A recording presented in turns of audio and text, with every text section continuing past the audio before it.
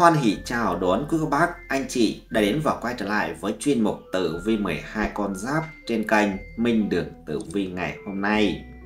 Lời đầu tiên, thay mặt cho ban biên tập chương trình, những người làm chương trình, Minh Đường Tử Vi xin được gửi lời chào, lời chúc tới quý cô bác, anh chị có được vận trình như cá chép hóa rồng, gặp hung hóa cát, vượng vận quý nhân, vận may ập đến, tiền bạc ùn ùn đổ về nhà, bất ngờ trúng số giàu to, đổi đời như ý.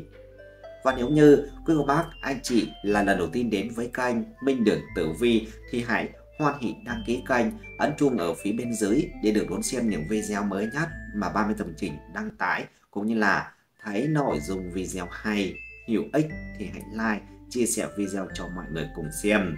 Quý cô bác, anh chị cũng đừng quên để lại ý kiến đóng góp ở phía bên dưới phần bình luận kênh Minh Đường Tử Vi vô cùng cảm ơn quý cô bác, anh chị. Trong nội dung video ngày hôm nay mà 30 tập chương trình gửi tới quý cô bác, anh chị đó chính là nội dung như sau. Chấn động, thầy tử di báo trước cực chính xác, đúng từ nay tới rằm tháng 9 âm lịch 2024, người tuổi Tân Hợi sinh 1971, ôm lộc trời ban, tiền giang chất đống, cuộc sống giàu sang phú quý, ôm về 100 tỷ gửi ngân hàng. Kính thưa quý khán giả và đặc biệt là quý bản mệnh tuổi Tân Hợi sinh 1971 thân mến, trong cuốn luận ngữ có viết Sinh tử hữu mệnh, phú quý tại thiên, nghĩa là con người ta sinh ra trên đời, sống chết đều có số mệnh, sướng khổ đều do trời định. Tuy vậy Phật gia có câu, dạng sự tùy tâm, trong cuốn Nhi nữ anh hùng truyện có viết Nhất mệnh, nhị giận, tam phong thủy, vậy đâu là chìa khóa để thay đổi vận mệnh con người? Đó chính là biết mệnh, hiểu mệnh và kiến tạo phước đức. Bởi vậy, trong thời điểm từ nay tới rằm tháng 9 âm lịch tới đây, vận mệnh của tuổi Tân Hợi sinh 1971 sẽ có vô vàng điều bí ẩn. Quý bản mệnh hãy cùng ban biên tập chương trình đi tìm cách lý giải và chiêm nghiệm lá số con giáp của mình, từ đó đón lành tránh dữ ngay sau đây nhé. Quý cô bác tuổi Tân Hợi thân mến, có bao giờ cô bác tự hỏi liệu rằng thất bại cô bác vừa trải qua đã dạy cô bác điều gì? Cô bác cần thay đổi điều gì hay cần học hỏi thêm gì hay không? Hay là chán nản, mất khí thế, nhạt nhòa, chẳng buồn nỗ lực lưu tâm? Mọi sự trên đời xảy ra đều có lý do của nó. Dù là khó khăn hay vất vả, nó xảy ra vì nó cần phải xảy ra. Nó xảy ra để hoàn thiện những góc chưa hoàn mỹ của bản thân, vượt qua những thăng trầm của cuộc sống và để tương lai biết trân trọng những cơ hội trên đường đời nên lắm lúc thất bại là điều không ai muốn nhưng hãy cảm ơn vì nó đã đến trong đời cảm ơn vì những nhọc nhằn những vất vả ta đã chịu và đang gánh vì ta hiểu nó chính là sự chuẩn bị cho một tương lai rạng ngời và rực rỡ ở không xa người tuổi Tân Hợi sinh 1971 thuộc mệnh Kim, thoa xuyến Kim, xuyến bằng vàng. Tuổi Tân Hợi là những người rộng rãi, thân thiện, dũng cảm và tốt bụng. Họ có ý tưởng riêng, không thay đổi suy nghĩ và lợi ích bị ảnh hưởng bởi người khác, nhưng họ hơi lười biếng và không đủ tích cực. Họ thường làm mọi việc mà không suy nghĩ, luôn thích đơn giản quá sự nghiêm túc của mọi việc. Họ thường yếu đi trong giao tiếp với người khác. Hành kim của can tân tương sinh cho hành thủy của chi hợi, tức can tương sinh cho chi là mệnh cát, sung sướng, vậy nên những người tuổi tân hợi được trời phú cho trí tuệ hơn người. Phúc lộc dồi dào, trong suốt cuộc đời vốn dĩ đã may mắn, họ sẽ còn có được thành công gian dội nếu như biết nỗ lực trong sự nghiệp khi về già họ sẽ được con cháu hiếu kính, sống trong nhàn hạ người tuổi tân hợi có ngũ hành nạp âm bản mệnh là thoa xuyến kim, tượng trưng cho sự giàu sang phú quý. Những người này hay được hưởng tài lộc từ quý nên ít khi phải lao đao vì vấn đề tiền bạc. Mọi người sẽ ấn tượng với họ bởi thần thái cao sang, khí chất quý phái hiếm thấy. Nhờ có năng lực nghệ thuật vượt trội, họ có thể trở thành những nhà nghệ sĩ nổi tiếng. Đôi khi người tuổi tân hợi khá tự mãn về bản thân nên dễ trở nên kiêu căng ngạo mạn. Họ chỉ thích nghe những lời tán thưởng, khen ngợi, mà bỏ ngoài tai những lời phê bình của người khác. Nếu họ không học được tính khiêm nhường thì họ có thể sẽ bị những kẻ hay nịnh hót hãm hại. Giận may nghề nghiệp của những người tuổi tân hợi tương đối tốt. Nếu là nhân viên văn phòng, họ có thể có nhiều cơ hội để đi du lịch và học tập ở nước ngoài. Điều này cho phép họ được thăng tiến nhanh chóng tại nơi làm việc khi còn trẻ. Đối với các doanh nhân họ có tầm nhìn độc đáo trong đầu tư và thường có thể gặt hái được nhiều lợi ích hơn. Do đó doanh nghiệp của họ có thể trở nên lớn hơn và mạnh hơn. Sau tuổi 40 doanh nghiệp của họ có thể đạt đến đỉnh cao. Vận may của người tuổi Tân Hợi sinh 1971 cũng tương đối tốt. Đối với nhân viên văn phòng Vì làm việc chăm chỉ họ có thể tích lũy một số tiền lớn. Vì vậy, họ có thể mua nhà và xe hơi trong thời kỳ đầu. Sau tuổi trung niên với sự gia tăng tiền lương sự giàu có của họ có thể tích lũy ngày càng nhanh hơn. Đối với các doanh nhân, doanh nghiệp của họ phát triển một cách ổn định Tầm nhìn độc đáo của họ làm cho họ phát triển Đầu tư tốt hơn có thể cho phép họ tích lũy một lượng lớn của cải hầu hết trong số họ có thể sống một cuộc sống giàu có. Ngay sau đây sẽ là tổng quan vận trình tử di tuổi Tân Hợi sinh 1971 từ nay tới rằm tháng 9 âm lịch 2024 từ nay tới rằm tháng 9 âm lịch này vận khí của người tuổi Tân Hợi không tệ, bản mệnh được nâng đỡ rất nhiều, bớt phần vất vả, chỉ việc đón các giận mà thôi. Vượt qua những khó khăn, bạn có nhiều cơ hội hơn để thể hiện năng lực của mình, công việc tiến hành suôn sẻ, được cấp trên tin tưởng và cũng trao cho nhiều trọng trách. Song kèm theo đó sẽ là áp lực không nhỏ, nên con giáp này vẫn cần phải có sự chuẩn bị tâm lý vững vàng, ai nỗ lực kiên trì tới cùng sẽ hái được quả ngọt và ngược lại tài chính từ nay tới rằm tháng 9 âm lịch này của tuổi tân hợi cũng đón giận may lớn, nhiều dấu hiệu tăng tiến, việc kiếm tiền trở nên dễ dàng hơn. Việc ký kết hợp đồng hợp tác làm ăn, tiến hành giao dịch lớn nhỏ đều suôn sẻ, người kinh doanh có duyên lại gặp thời nên lợi nhuận tăng mạnh.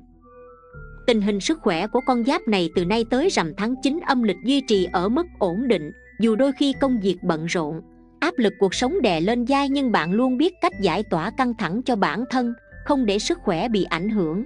Một vài triệu chứng khó chịu cũng sớm bị đẩy lùi khi bạn biết quý trọng sức khỏe của mình hơn. Về chuyện tình cảm của người tuổi tân hợi từ nay tới rằm tháng 9 âm lịch này sẽ có những mối quan hệ ngọt ngào và ổn định, dù là người đã có gia đình hay người độc thân. Bạn đều có thể cảm nhận được sự ấm áp của tình cảm, mối quan hệ giữa vợ chồng sẽ hài hòa và ổn định, người độc thân có thể có nhiều cơ hội gặp được một nửa phù hợp quý khán giả thân mến, tiếp theo chương trình ngày hôm nay, ngay sau đây sẽ là phần luận giải dẫn trình tử di chi tiết trên từng phương diện cuộc sống của tuổi Tân Hợi sinh 1971 từ nay tới rằm tháng 9 âm lịch 2024. Xét về phương diện công danh sự nghiệp của tuổi Tân Hợi sinh 1971 từ nay tới rằm tháng 9 âm lịch 2024. Tử di từ nay tới rằm tháng 9 âm lịch của 12 con giáp cho thấy, thời điểm này được cả nguyệt lệnh trường sinh và sao thiên ấn chiếu mệnh, nên sự nghiệp của tuổi tân hợi có nhiều điểm sáng. Dần khí được nâng đỡ, bạn có được nguồn sinh khí dồi dào, tinh thần làm việc hăng say, phấn khởi, nhờ đó bản mệnh giải quyết công việc đâu ra đấy. Những vấn đề còn tồn động đều được xử lý gọn ghẽ, thu về kết quả tốt đẹp, thậm chí nằm ngoài sự mong đợi. Bạn có nhiều cơ hội hơn để thể hiện năng lực của mình bằng chính sự lanh lợi và nhạy cảm. Thời gian này, bản mệnh có thể tích lũy kinh nghiệm, nâng cao chuyên môn, tự khẳng định giá trị bản thân, giữ vị trí vững chắc trong tập thể. Ngoài ra, bản mệnh còn có thể được cấp trên tin tưởng và cũng trao cho nhiều trọng trách, song kèm theo đó sẽ là áp lực không nhỏ. Nên bạn vẫn cần phải có sự chuẩn bị tâm lý vững vàng, những ai nỗ lực kiên trì tới cùng sẽ hái được quả ngọt và ngược lại. Bên cạnh đó từ nay tới rằm tháng 9 âm lịch này cũng dự báo về những hung hiểm luôn rình rập có thể khiến bạn gặp thế lực ngầm cản trở, ngăn cản bước tiến có thể may mắn mà bản mệnh đang có khiến đối thủ cạnh tranh hoặc kẻ tiểu nhân ganh ghét, cho rằng bạn chỉ đang ăn may mà thôi. Nhưng những thuận lợi đang có là do may mắn hay do chính nỗ lực của bạn trong thời gian trước, thì quá trình và kết quả công việc đã chứng minh rõ. Do vậy, trong thời điểm này, tuổi tân hợi đừng quá chủ quan hay lơ là mà gây ra những sai lầm đáng tiếc bỏ lỡ cơ hội tốt đẹp của mình. Nếu ai đó mỉa mai gì cho rằng bạn gặp may thì hãy cứ kệ họ nhé. Chỉ bạn mới biết mình đang ở đâu vị trí nào và bạn đã từng trải qua những trở ngại gì để có được ngày hôm nay. Xét về phương diện tài lộc của tuổi Tân Hợi sinh 1971 Từ nay tới rằm tháng 9 âm lịch 2024 Tử vi từ nay tới rằm tháng 9 âm lịch của 12 con giáp cho thấy rằng Thời điểm này, tài vận của tuổi Tân Hợi cũng có nhiều dấu hiệu tăng mạnh, Có sự nghiệp hỗ trợ nên thu nhập chính được đảm bảo. Sự xuất hiện của thiên ấn cho thấy từ nay tới rằm tháng 9 âm lịch này, những người làm văn phòng sẽ có chiều hướng khả quan hơn trong tài vận tuy nhiên, điều đó không có nghĩa người làm kinh doanh, buôn bán không gặp may mắn, thực tế là dù làm ở lĩnh vực nào, bạn cũng thấy việc kiếm tiền trở nên dễ dàng hơn. Nguyệt lệnh trường sinh thôi thúc bản mệnh nên mạnh tay đầu tư và quyết đoán trong mọi việc tỷ lệ thành công sẽ rất cao. Nếu có duyên với các dự án bất động sản và cảm thấy hứng thú, bạn cũng có thể thử sức hơn nữa các dự án ký kết hợp đồng, hợp tác làm ăn, tiến hành giao dịch lớn nhỏ đều suôn sẻ. Người kinh doanh có duyên lại gặp thời nên lợi nhuận tăng mạnh. Dù vậy, tuổi tân hợi vẫn nên đảm bảo rằng bạn đã tính toán đến những rủi ro trong đầu tư và khả năng kiểm soát của bản thân đến đâu. Trong cuộc sống, con giáp này nên chi tiêu trong khả năng của mình chủ động quản lý chi tiêu và chuẩn bị đầy đủ cho tương lai sẽ giúp bạn không bao giờ rơi vào cảnh khủng hoảng tài chính. Xét về phương diện sức khỏe của tuổi Tân Hợi sinh 1971 Từ nay tới rằm tháng 9 âm lịch 2024 Xem tử vi từ nay tới rằm tháng 9 âm lịch của tuổi Tân Hợi cho biết Thời điểm này, tình hình sức khỏe của tuổi Tân Hợi duy trì ở mức ổn định.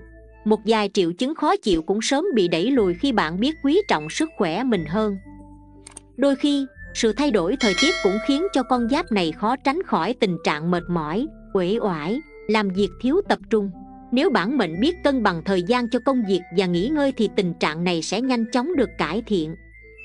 Dù đôi khi công việc bận rộn áp lực cuộc sống đè lên vai nhưng bạn luôn biết cách giải tỏa căng thẳng cho bản thân không để sức khỏe bị ảnh hưởng bạn cũng nên tránh các hoạt động có nguy cơ cao hoặc các môn thể thao nguy hiểm để tránh những va chạm, tai nạn vốn có thể tránh ngay từ đầu.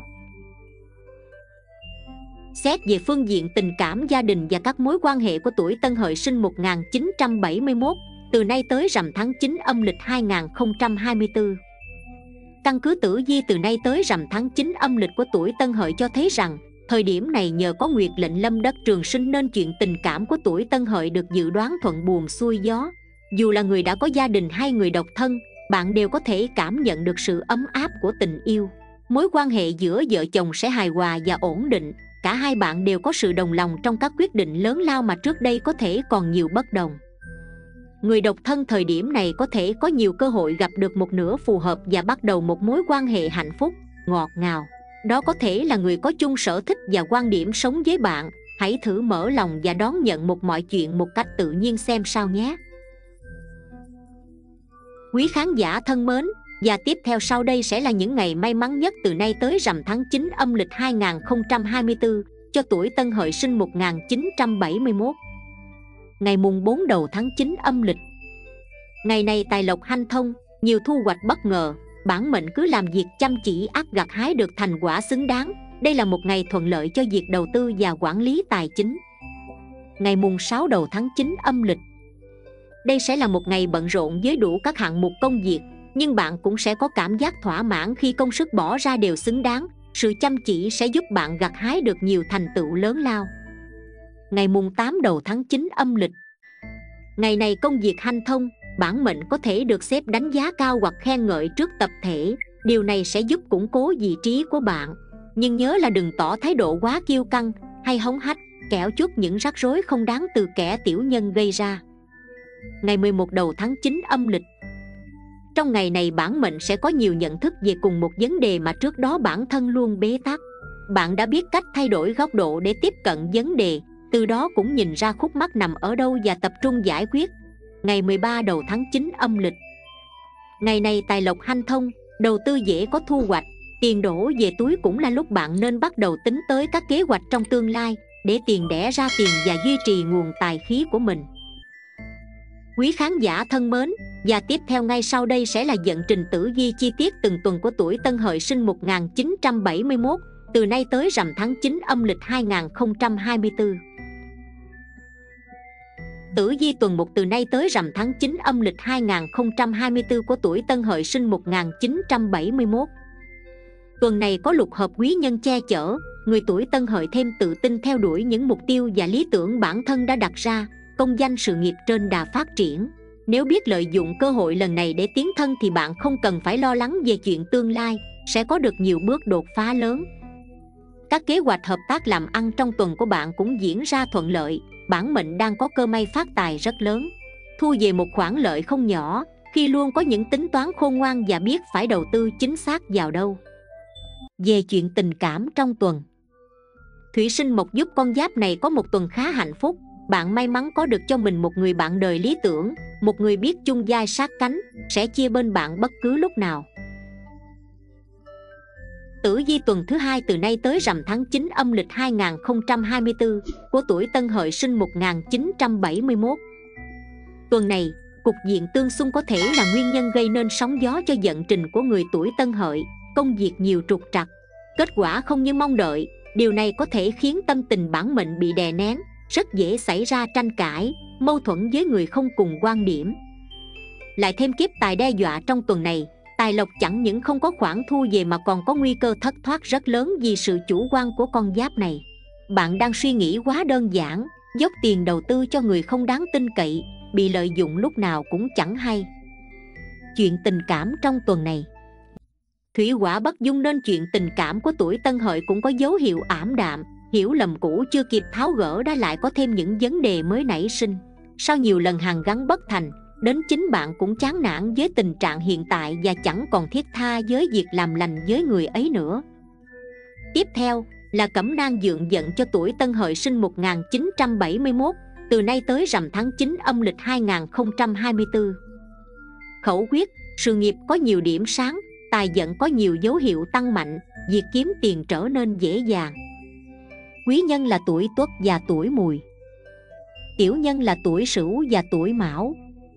Màu sắc may mắn là màu nâu và màu trắng. Con số may mắn 14, 73 và 64 Quý khán giả thân mến, để công việc hợp tác làm ăn được thêm phần suôn sẻ và thuận lợi thì chắc chắn chúng ta cần tìm được người đối tác phù hợp giúp cho vận khí tăng lên gấp bội lần kích tài dưỡng lộc thu hút may mắn. Về tuổi Tân Hợi sinh 1971 nên hợp tác với những tuổi nào để mang lại vận may tài lộc cũng như sự nghiệp. Xin mời quý khán giả cùng theo dõi tiếp video. Tuổi Tân Hợi với tuổi Tý. Trong kinh doanh, tuổi Tân Hợi và tuổi Tý phải điều chỉnh thì mới có thể tiếp tục mối quan hệ. Tuổi Tý nhanh nhạy và thiên hướng kiếm tiền tốt Biết cách tận dụng người khác để làm giàu. Tuổi Tân Hợi yêu sự giàu có Nhưng trong mắt của tuổi Tý, tuổi Tân Hợi lười hơn so với những gì tuổi Tý mong đợi. Điều này khiến tuổi Tý thỉnh thoảng nặng lời. Mặt khác, tuổi tân hợi khá kiên định lập trường, khi đã đưa ra quyết định khó lòng thay đổi, tính cách này có hai mặt. Đối với mối quan hệ của hai người phụ thuộc vào hành động, mà tuổi tân hợi làm có trùng khớp với điều mà tuổi tý muốn hay không? Tuổi tân hợi với tuổi sửu.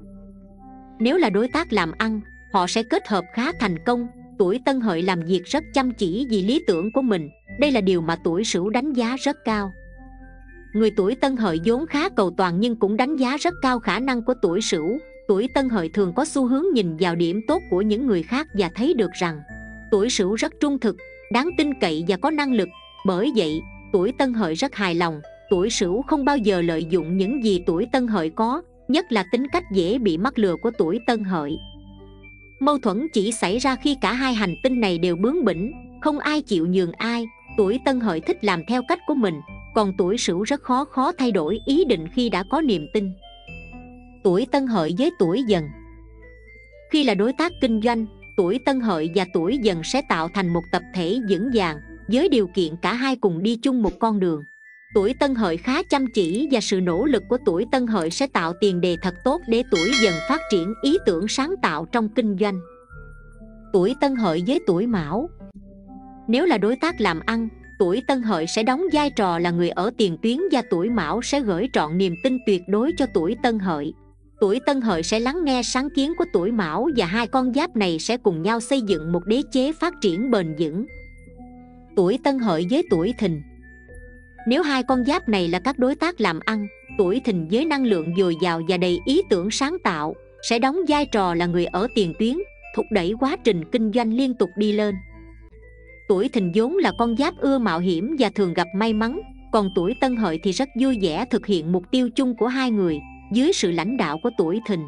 Với tuổi tân hợi vốn thích thú chăm sóc những người hoặc công việc mà mình yêu thích, cả hai hành tinh đều rất trung thành và tin tưởng lẫn nhau.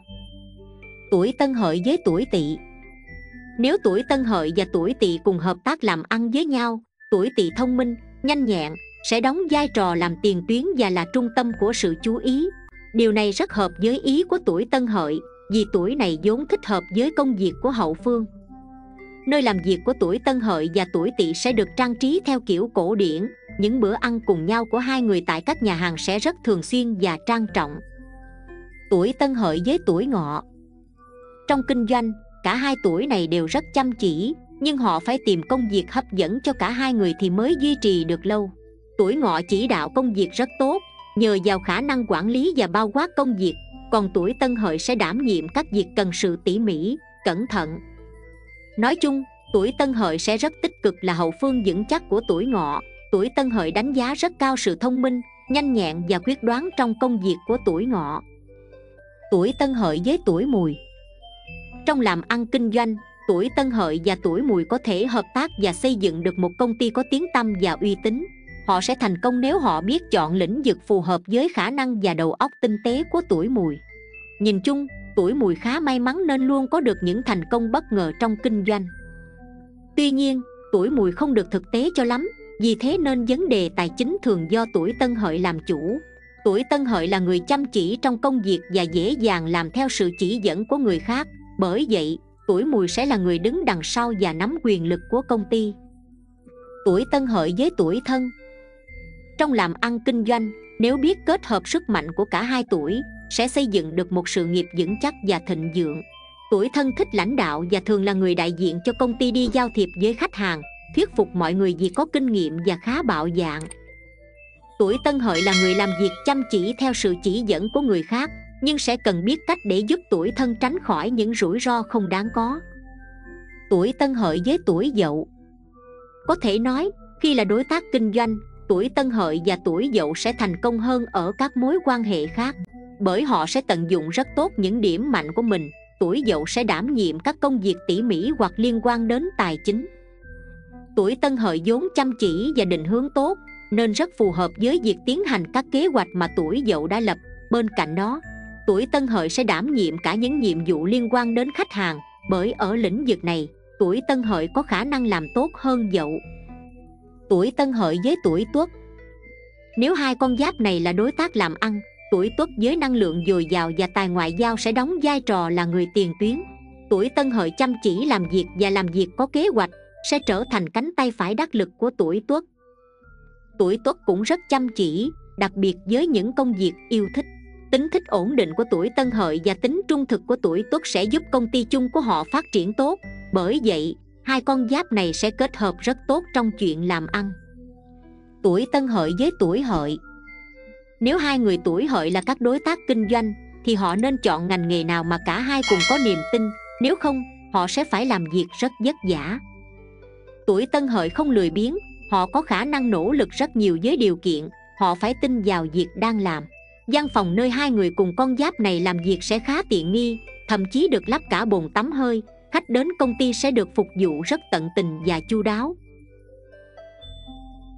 Quý khán giả thân mến, trong cuộc đời chúng ta sẽ có rất nhiều nghiệp tốt và nghiệp xấu mà nhiều người không biết tại sao. Thực ra đó là những món nợ chúng ta đã nợ suốt cuộc đời. Trong tất cả những người chúng ta gặp trên đời này, có người đến để đòi nợ và có người đến để trả nợ. Trong đó có con cái chúng ta. Những kẻ ngoan ngoãn hiếu thảo đều đến đây để trả nợ còn những kẻ nổi loạn vô kỷ luật thì đến đây để đòi nợ. Có người hỏi chúng ta không biết gì về nhân duyên kiếp trước, thì làm sao biết được ai đến đòi nợ, ai đến trả nợ? Đức phật nói về duyên gặp gỡ, bất kể bạn gặp ai, người ấy sẽ là người nên xuất hiện trong cuộc đời bạn, đó hoàn toàn không phải là tình cờ, người ấy nhất định sẽ dạy cho bạn một điều gì đó. Tất cả chúng ta đều mang theo nghiệp đến thế giới này, không có gì biến mất chỉ có nghiệp còn ở lại với chúng ta. Kiếp này chúng ta có duyên gặp nhau hay trở thành một gia đình đều là duyên phận giữa chúng ta, dù tốt hay xấu đều là duyên nợ. Vì vậy, đừng cố tình lo lắng về những điều này, hãy cố gắng hết sức trong lúc này và tin rằng mọi thứ đều là sự an bài tốt nhất của số phận. Làm sao trả hết nợ đời, nợ tiền, nợ người từ kiếp trước, nghe phật giảng xong sẽ biết. Một là làm từ thiện rộng rãi và tích đức để trả nợ nhà nào tích lũy việc lành sẽ luôn được hạnh phúc, nhà nào tích ác sẽ gặp họa làm việc thiện và tích đức thực chất là cách trả nợ nhanh nhất. Chúng ta có rất nhiều phước lành trong cuộc sống này, bao gồm sức khỏe, giàu có, danh tiếng, sắc đẹp, tất cả đều là phước lành. Phước lành của mỗi người thì có hạn nhưng cách tích phước thì vô hạn. Phát huy tránh phát là tích phước, thực hành bố thí cũng là tích phước, khi một người giúp đỡ người khác với lòng từ bi. Cho dù đó là quyên góp tiền bạc hay cúng dường miễn là làm việc tốt, cho đi bằng tâm bố thí, thì chính là đang tích lũy phước lành cho bản thân và trả nợ. Mọi vật đều do tâm tạo tác, thiện ác trên đời đều do tư tưởng khởi lên, tâm thiện thì dạng vật đều thiện, tâm ác thì dạng vật đều ác. Người làm việc thiện tích nhân lành, phước báo nhân tốt, quả tốt sẽ giải quyết được nhân quả xấu, vô hình giúp mình trả hết tội lỗi đã qua. Trong phật giáo có một câu nói rất hay, người hành thiện phúc tuy chưa tới, nhưng quả đã tránh xa kẻ hành ác quả tuy chưa tới nhưng phúc đã rời ra. Hai là biết chịu lỗ và trả nợ theo cách trả hết nợ trong nhiều kiếp, thì việc chịu mất mát là một điều may mắn. Để trả hết nợ, sẵn sàng trả giá mà không đòi hỏi bất cứ điều gì, người sẵn sàng chịu lỗ sẽ không bao giờ thiệt thòi. Chịu đựng mất mát là một trí tuệ vĩ đại hiếm có và là một trạng thái của con người. Nhiều người cho rằng đây là hành vi ngu ngốc, nhưng thực tế ai cũng biết sự thật này nỗ lực chưa chắc đã được khen thưởng, nhưng khi bạn cho đi mà không yêu cầu đáp lại, bạn đang trả một món nợ ân tình. Nếu sự bao dung của bạn được người khác đón nhận, bạn có thể hình thành một mối quan hệ tốt đẹp. Hãy học cách kiên nhẫn khi gặp phải sự bất công. Có thể kẻ thù hoặc chủ nợ đến đòi nợ, lúc này bạn trả cho hắn coi như là trả bớt nợ đời. Nếu người khác hiểu được suy nghĩ của bạn còn có thể hình thành một mối quan hệ tốt đẹp. Tại sao người ta thường nói hồi hướng công đức cho kẻ thù và chủ nợ. Bởi vì trả nợ cho chủ nợ của kẻ thù cũng là trả nợ cho chính mình. Trong trường hợp này, nợ đời, nợ tiền, nợ người đều đang được trả. Ba là phóng sinh công đức. Tích lũy của việc phóng sinh là vô cùng phi thường, nên cũng là cách nhanh nhất để trả những món nợ đã tích lũy từ kiếp trước. Nhiều người đã từng nghe câu nói, cứu một mạng người hơn xây bảy tầng tháp. Phóng sinh cũng như cứu một mạng người, chúng sinh đều bình đẳng cứu người cũng như cứu mình. Hãy làm việc thiện, xây dựng mối quan hệ tốt đẹp, mang lại lợi ích cho mình và người quan tâm đến tất cả chúng sinh, bạn sẽ tự nhiên có thể giải quyết được kẻ thù và chủ nợ của mình. Bốn là niệm phật, tụng kinh và làm việc thiện. Tất cả những người phật tử kiên trì tu tập siêng năng niệm phật và tụng kinh hồi hướng công đức, chia sẻ công đức của mình, thì thực ra đang diệt trừ tai họa và giải quyết vấn đề cho chính mình tham gia phóng sinh để tích phước và thường xuyên niệm nam mô a di đà, đều là cách trả nợ. Nếu phát bồ đề tâm và đi theo con đường bồ tát, thì sẽ có công đức và tiêu tan ác xuyên hồi hướng công đức niệm phật cho kẻ thù. Chủ nợ thân quyến, bạn bè sẽ không những không làm hao hụt công đức mà còn nhân đôi công đức giống như ngọn đèn thắp sáng dạng ngọn đèn. Đây cũng là một sự hồi hướng của phật giáo, công đức không thể tưởng tượng nổi. Đức phật dạy từ bỏ một thứ sẽ được dạng phần thưởng chỉ có từ bỏ mới có được. Nếu có người gieo trồng căn lành trong phật giáo, bố thí và cúng dường, thậm chí làm những việc thiện rất nhỏ, miễn là người đó thành tâm hồi hướng cho chúng sinh, thì công đức của người này sẽ cực lớn lao. Trên đây là tử vi của tuổi Tân Hợi sinh 1971 từ nay tới rằm tháng 9 âm lịch 2024 hy vọng với những thông tin trên sẽ giúp ích cho quý khán giả. Cảm ơn quý khán giả đã xem hết video. Nếu thấy video hữu ích quý khán giả đừng quên like, chia sẻ và ấn nút đăng ký kênh để cập nhật những video mới nhất từ chương trình. Chúc quý khán giả có một tháng mới luôn vui vẻ, hạnh phúc, bình an và gặp nhiều may mắn. Hẹn gặp lại quý khán giả ở những chương trình tiếp theo.